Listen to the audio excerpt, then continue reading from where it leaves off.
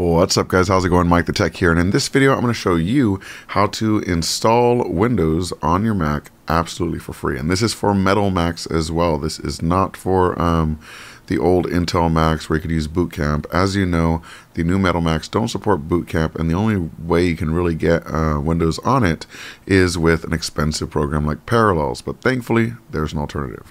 Before we get started, huge shout out to Geeks Outfit. I have my Life Happens Coffee Helps t-shirt here which i absolutely love you can get a bunch of uh, great apparel and accessories i'll put a link in the description below uh, so onto the video itself how can we install windows on a mac well first we have to download windows and thankfully there's a utility to do so we're going to use an app called Crystal Fetch. So it's in the App Store. It is a uh, certified app and everything. And we're just going to open that app once it's installed. And here you can choose which version you'd like to download. You can download Windows 11, Windows 10. We're going to do Windows 11. And then you can choose whether you want the uh, Apple Silicon or ARM64 version or the Intel x86 version, which has to be virtualized. So you're going to get a lot better performance on the Apple Silicon version. So we're going to choose that. And then we'll choose our language and edition. So we're going to choose the Windows 11 edition, that's fine, and hit download will accept the terms of service and it will start downloading the file. Once it finishes downloading, you can choose where you want to place that. So we're just going to place it in our downloads folder so it's easy to remember. And we can go ahead and close Crystal Fetch. Easy enough.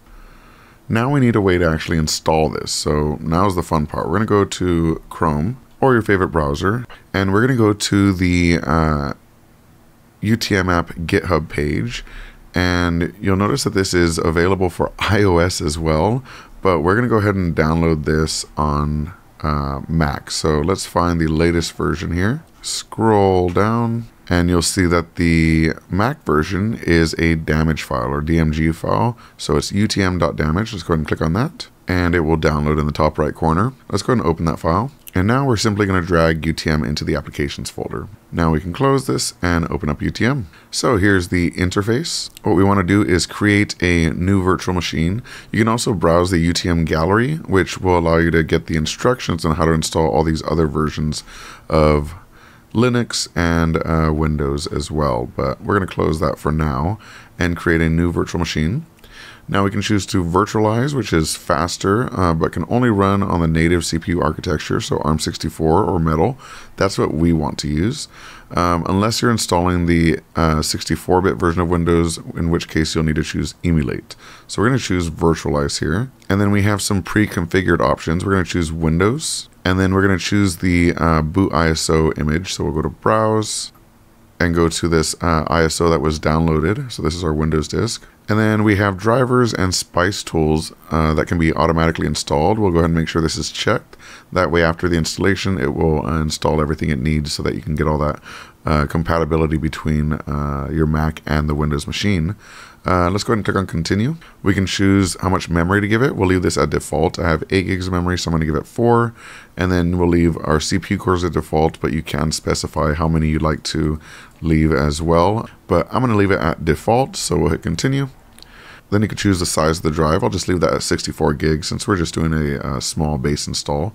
We'll hit continue. You can make a shared directory here. So if we choose a location for example, our solid state drive and hit open, then uh, this location will be accessible with uh, Windows or Mac. So it's kind of like a shared folder, which is nice. And then you'll get a uh, summary of all of these settings you've set. Let's go ahead and hit save and hit the start button to boot the machine. So now we're going to press a key so that it uh, boots into the ISO. And here's the installer. Let's go ahead and continue through this as we normally would on a machine.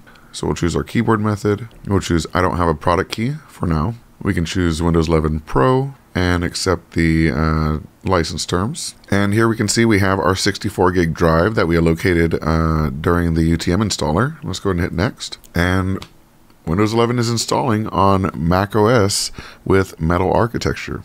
Not too bad, right? We'll stick around for a bit and go through the final config and I'll show you uh, how to get through the uh, last bit of the install. Alright, so the installation process has uh, finished, or at least the ISO based installation process. Now the on disk installation process has started. Um, the virtual machine restarted and then went into this, and the onboarding will start soon. Look at that. So now we'll choose our region keyboard layout, good things coming your way. We'll enter our name, our password, and some security questions. That should do. All right, Windows Update is in progress and the machine will start soon. The tools will install and it will restart another time and uh, everything should be good to go. All right, so it looks like we're in. Let's go ahead and type our password. Hi. Oops, I forgot my light. There it is. Once the uh, operating system starts, you'll see that the guest tools option is now available. Uh, so let's go ahead and go through that installer to finish uh, the last step.